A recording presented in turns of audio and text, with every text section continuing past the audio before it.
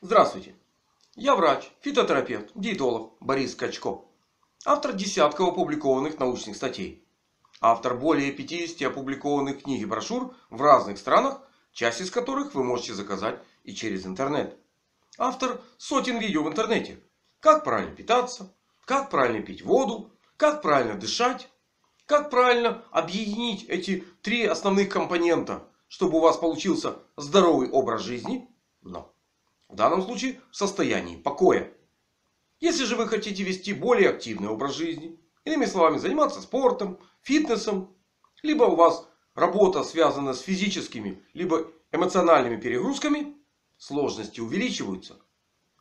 Потому как в этом случае вы должны тратить те резервы, которые вы создали в состоянии покоя. Если резервов мало, соответственно уровень здоровья у вас будет не увеличиваться, а уменьшаться. Именно потому и решил написать это видео, как же правильно питаться при тренировках. Чтобы получить тот результат, который вы хотите получить. А именно, кто-то хочет похудеть, кто-то хочет набрать мышечную массу, кто-то хочет просто оздоровиться. Ответы на эти вопросы вы найдете в этом видео, если просмотрите его до конца. Как же правильно питаться при тренировках? Правильный ответ зависит от поставленной вами цели. Если вы хотите с помощью физических нагрузок во время тренировок снизить вес, уменьшить объем жировой ткани, то первую часть тренировки вы должны сжигать гликоген, находящийся в мышцах и в печени. Если у спортсмена гликогена в мышцах может быть грамм 200 и более, если вы человек неподготовленный, возможно грамм 100 гликогена там и будет накоплено. Это примерно 400 килокалорий нагрузки и мышцы ваши от гликогена свободны. Также вы должны сжечь гликоген, который находится в печени. Если у вас печень здорова, примерно 200 грамм гликогена она может вмещать. Если же у вас своя история различных ограничительных диет, приличный стаж ожирения, в печени чаще всего регистрируется явление жирового гепатоза, либо стеатогепатита. И такая печень паршивейшим образом вне физических нагрузок обеспечивает поддержание правильного обмена веществ на уровне клеток. Но в этом случае она содержит значительно меньше гликогена. А значит вводная первая часть тренировки будет опять-таки достаточно короткой.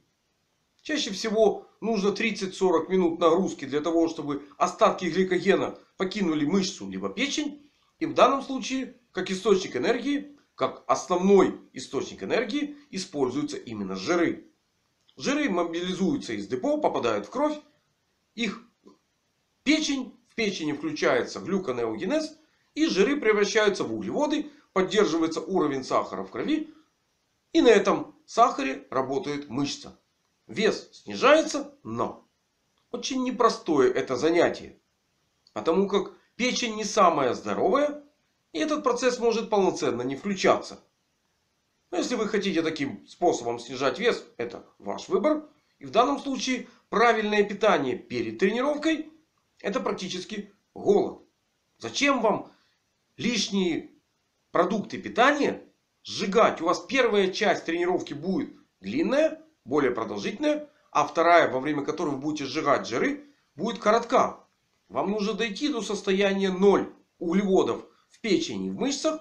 Только после этого включается глюконеогенез с переработкой жиров из жировой ткани в нужный вам в данном случае сахар. Поэтому за 30-40 минут до тренировки в пустой, подчеркиваю, в пустой желудок вы можете ввести 200, 300, 400 мл воды. Выпили водичку и с помощью этой водички она уйдет в кишечник, будет постепенно всасываться в кровь и поддерживать достаточно низком уровне вязкость крови. В этом случае большая степень безопасности для вас во время нагрузки присутствует. И регулярно выполняя такие движения, вы будете постепенно снижать вес за счет именно жировой ткани. После тренировки я бы советовал все-таки перекусить. Да, процесс будет какое-то время продолжаться. Вы можете подбросить в свой организм, да, выпить воды после тренировки. Можно выпить какой-то сок кислого, кисло-сладкого вкуса. Лучше не сладкий. Много углеводов вам не нужно в данном случае. А сок кислого, кисло-сладкого вкуса активирует работу пищеварительной системы. И вы можете уже правильно перекусить. Здесь могут быть разные продукты. Все зависит от того, какой, в какой степени изменен обмен веществ. Ведь по умолчанию у вас есть жировой гепатоз, есть стеатогепатит. А значит обмен веществ работает не самым лучшим образом. И нужно знать, какие звенья в какой степени изменены. От этого зависит правильное питание после тренировки. Во время тренировки, даже если вам очень хочется пить, вариантов два. Либо вы прекращаете тренировку на том этапе, на котором вы находитесь. Но воду пить нельзя. Попадание воды, быстрое попадание воды из кишечника в кровь может резко увеличить объем крови и создать дополнительную нагрузку на сердце. Как правило, имея избыточный вес, есть явление миокардиодистрофии, возможны другие изменения в состоянии сердечной мышцы. И это не самый лучший повод, не самый лучший способ проверить ее работоспособность, употребляя воду во время физической нагрузки. А вот как правильно использовать правильное питание при тренировках в других случаях, вы узнаете прямо сейчас. Если же вы искали, как правильно питаться при тренировках для здоровья, правильный ответ на этот вопрос совершенно иной. Примерно за час-полтора до начала физической нагрузки должен состояться правильный перекус. А зайдут в его составе жидкая каша рисовая либо гречневая, кукурузная либо пшенная, овощной суп либо овощной рагу. Это ваш выбор. Или выбор вашего организма в случае наличия ограничивающих эти продукты или эти блюда заболеваний. Но в любом случае вы перед физической нагрузкой создали определенный запас энергии и запас воды. Правильность которого, то есть соответствие перекуса и физической нагрузки, определяет всего два фактора. Чувство жажды и чувство голода. Если при физической нагрузке возникло чувство жажды, это говорит о том, что мобильные резервы воды в вашем организме были недостаточны. И нужна коррекция перекуса, нужна коррекция условий, в которых выполняется физическая нагрузка. Потому как терпеть чувство жажды не советую. Удовлетворять чувство жажды во время физической нагрузки, употребляя воду, также не советую. В любом случае, разными путями, но резко снижаются возможности вашего сердца. И можно так доиграться и до инвалидности.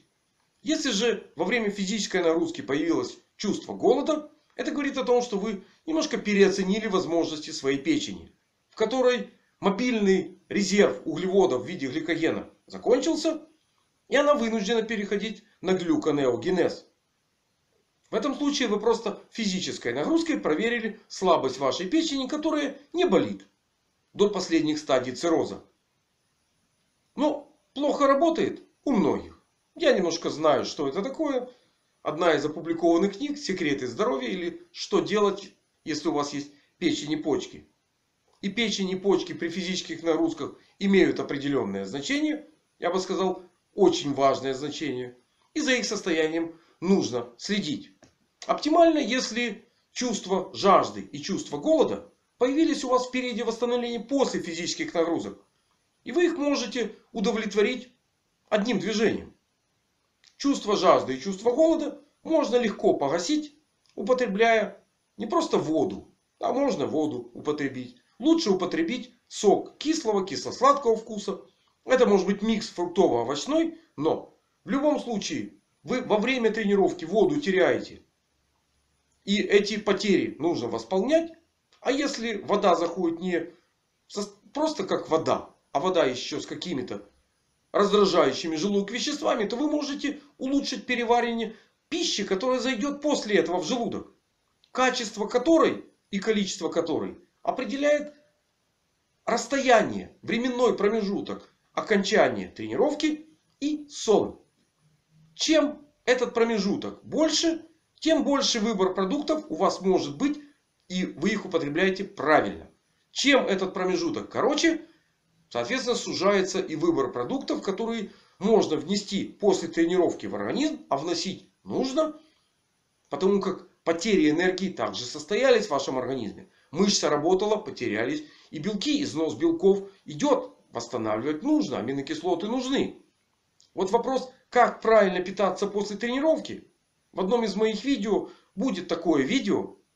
как правильно питаться после 18, 17, 16 и далее часов. И вы сможете найти правильный ответ на этот вопрос. Какие же продукты нужно вносить после тренировки. В этом видео я эту информацию давать не буду. Она будет слишком громоздкая. Это видео будет слишком длинным и сложным для восприятия.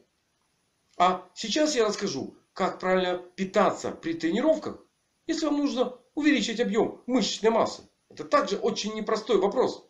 И правильный ответ отличается от двух предыдущих. Кардинально отличается. И это важно знать, потому как часто люди, даже ведя обычный образ жизни, ставят перед собой тоже такую цель. Не обязательно это спорт. Это может быть и обычный человек, который тоже хочет немножко изменить рельеф своего тела. Вот как это сделать правильно, вы узнаете прямо сейчас. Пожалуй, самый сложный ответ на вопрос, как правильно питаться при тренировках, чтобы набрать мышечную массу. Потому как нужно учитывать два параллельных процесса. С одной стороны, переваривание белковой пищи не ограничивается желудком. Оно стартует на кухне при правильном приготовлении пищи. Далее продолжается 1, 2, 3 часа в зависимости от секреторной способности желудочного сока в желудке. После чего перемещается в кишечник. Где обрабатывается ферментами трипсинами, химотрипсином. И переваривается до аминокислот. Конечно, спортсмен может немножечко выиграть времени. Употребляя вместо белковых продуктов пищевые добавки. Состоящие из различных гидролизатов аминокислот. Но после этого все аминокислоты любого происхождения попадают в кровь 100% к печени. Где они должны быть синтезированы в уникальные белки уже вашего организма. После чего этот белок попадает в кровь и идет к работающим клеткам. Несущественно. Это клетки иммунной системы, клетки мозга, либо мышечная ткань. В любом случае универсальный белок попадает в клетку. Там он разбирается вновь на аминокислоты. И собирается уже специфический белок, характерный для клеток этого вида тканей. Будет это актин, либо миозин в мышечной ткани, либо белки памяти в мозге, либо белки интерферон, иммуноглобулины в клетках иммунной системы. Зависит от того, куда эти белки попали. Но от входа в пищеварительную систему до появления в виде специфического белка на уровне клеток проходят примерно сутки. И на этот процесс могут повлиять различные факторы. Один из них, собственно, физическая нагрузка. Потому как пока находится белковая пища, либо препараты, содержащие аминокислоты в пищеварительной системе, на ее переработку можно повлиять. Как со знаком плюс, так и со знаком минус. Если в процессе пищеварения у вас появилась физическая нагрузка, иными словами, если часа за 2-3 до физической нагрузки вы съели кусок рыбы, рыба до конца еще не переварилась. Да, она уже прошла этап переваривания в желудке, но она продолжает перевариваться в тонком кишечнике. И в случае, если вы занимаетесь интенсивно физической нагрузкой, а для того, чтобы накачать мышцу, нужно делать именно так. В этом случае кровь из пищеварительной системы уходит, идет к мышцам, там, где идет работа. В пищеварительной системе появляется легкая гипоксия. Пищеварение затормозилось. А бактерии, которые там есть, используют рыбу уже по своему усмотрению. После физической нагрузки кровь пришла в пищеварительную систему, а рыба уже не та. Белки рыбы уже частично переварены патогенной микрофлорой. И для того, чтобы правильно сочетать употребление пищи и физической нагрузки, нужно просчитывать вот эти все факторы и правильно сочетать приемы пищи и физическую нагрузку. Чтобы ни один, ни другой процесс друг другу не вредили. И парадокс состоит в том, что спортсмен высокого уровня может за 30-40 минут до физической нагрузки съесть даже свиную отбивную которая в этом случае пропитается желудочным соком, пищеварение начнется, но законсервируется на период физической нагрузки. Да, отбивная перевариваться не будет, но она находится в безопасности. В желудке, в кислой среде, бактерии практически не развиваются. И ваша отбивная в безопасности. В то время как если вы съели ту же отбивную за более продолжительный период времени, часа за 2-3 до нагрузки, она, находясь в кишечнике, может подвергаться воздействию. Ее будут употреблять по своему усмотрению патогенные бактерии, которые в кишечнике всегда есть. А ваша пищеварительная система им не мешает. Потому как кровь находится не в системе пищеварения, а кровь находится в опорно-двигательном аппарате. И в этом случае важно правильно учитывать время переваривания пищи вместе с вашими физическими нагрузками. Вот тогда польза от физических нагрузок будет максимальна. Очень много факторов нужно учитывать в обычной жизнедеятельности. Особенно, если вы стремитесь вести более физически активный образ жизни. Но, чем больше факторов вы учитываете, тем больше уровень здоровья у вас будет. Вот на этой позитивной ноте я это видео буду заканчивать. С привычными подписчикам моего канала словами. Крепкого вам здоровья и разумного к нему отношения.